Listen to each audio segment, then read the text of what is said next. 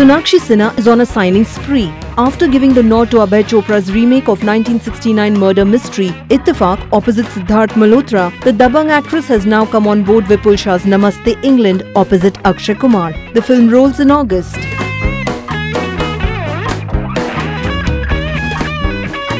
Sonakshi will feature in a never seen before avatar. We are currently in the pre-production stage. Let me make it clear that our film is not a sequel or a continuation of Namastey London, the 2007 rom-com featuring Akki and Katrina Kaif, says Vipul, who is currently busy with the John Abraham and Sonakshi actioner Force 2 and the Commando sequel featuring Vidyut Jammwal.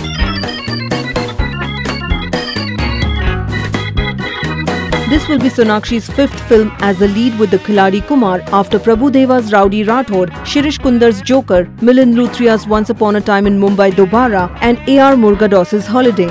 She has also done special appearances in OMG, Oh My God and Boss. We will be shooting in England, Paris, Switzerland, Brussels and Punjab. It could take us around six months to wrap up the film, informs Vipul.